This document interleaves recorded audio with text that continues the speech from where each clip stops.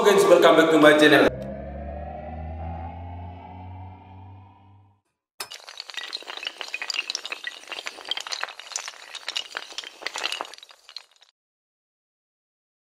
Untuk vlog kali ini saya mau buat alasan kenapa orang Papua suka makan pinang. Dan satu lagi sebetulnya kalau orang Papua, apalagi perempuan Papua yang suka pakai lipstick sebetulnya itu tidak perlu. Kau makan pinang saja pasti kau sama saja pakai lipstick. Ini sumerah langsung nih pakai lip lipstick alami langsung. Nah jadi di sini pinang kalau di Jawa mereka bilang ginang. Dan sering yang ditabur-tabur ke dalam kuburan. Nah, jadi yang ketika kita makan dia akan jadi merah. Nah, yang dibutuhkan pertama Pinang. Kalau di Papua tuh bilang Pinang. Kalau di sini dong bilang Ginang. Nah ini seperti ini nih. Nah ini Minang yang diambil dari pohon pinang. Nah prosesnya panjang lah dari pertumbuhan sampai perkembangan permulaan sampai perbuahan dan hingga pemanenan dan langsung sekarang saatnya untuk pemakanan. Nah, jadi ada pinang dan yang kedua ada siri. Nah ini siri diambil dari pohon siri juga. Kalau di sini, kalau di Jawa itu ada daun, ada siri. Cuma mau berbuahnya agak jarang, susah. Mungkin dari segi tanahnya mungkin kurang cocok. Kalau di Papua banyak siri buahnya. Nah ini dari Papua. Dan yang ketiga, kapur. Ini ada kapur. Jadi tempatnya kapurnya kayak begini, putih Nah nih, ini namanya kapur. Jadi dari ketiga ini jadi satu, ah, jadinya pinang lah. Atau bisa jadi seperti lipstick kalau bagi yang wanita. Kalau yang pria bukan lipstick. Tapi nah ini pada lipstick kiri kanan ini.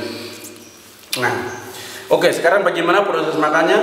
Nah, yang pertama mulai dari pinang. Nah, yang mau coba bisa ini mulai langsung nih. Buka dulu kulitnya satu-satu. Kalau kalian kalau makan satu saya tidak apa-apa, tapi kalau dua, tiga sekalipun tidak apa-apa, sekali tiga. Dan sekarang saya akan makan hanya dua saja. Oke, oke satu, langsung kunyah.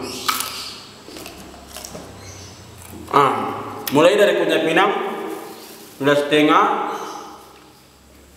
kunyah mulai setengah, baru mulai siri dicolok dengan kapur.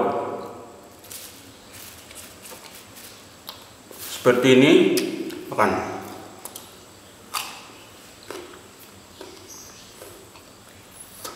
Dikunyah terus sampai jadi merah. Kalau ini sudah jadi merah. Jadi merah langsung nah jadinya seperti itu kalau ini mulai proses.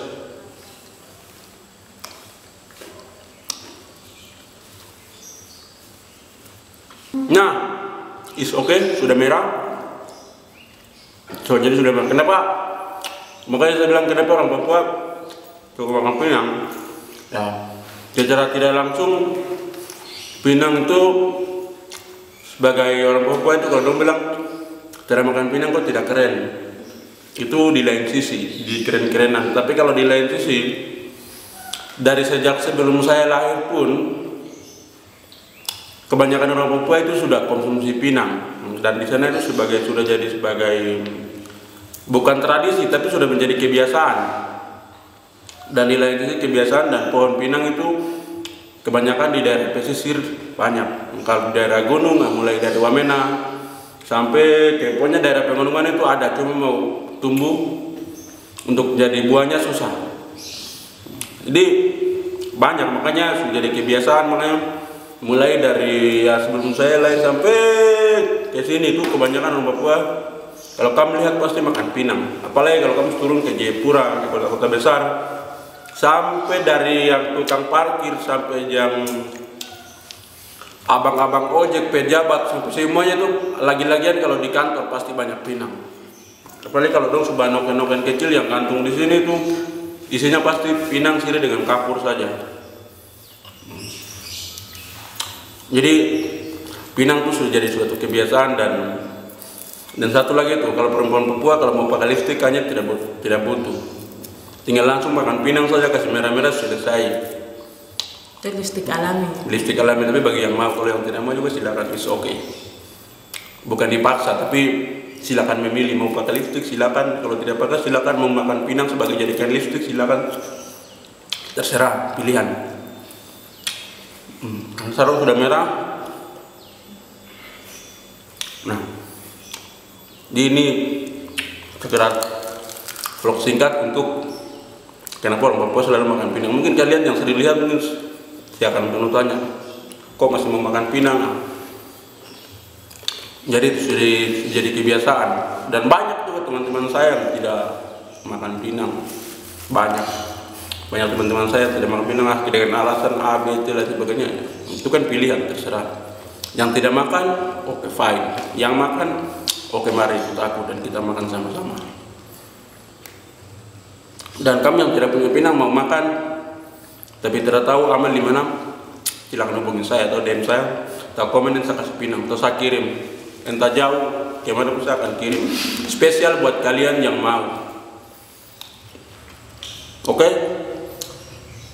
Thank you so much. Jangan lupa like video ini. Dan yang paling penting subscribe. Subscribe agar kalian tidak ketinggalan dari video dan pastinya kalian suka silakan kalau tidak suka oh it's okay. Thank you very much. Jangan lupa ngopi hari ini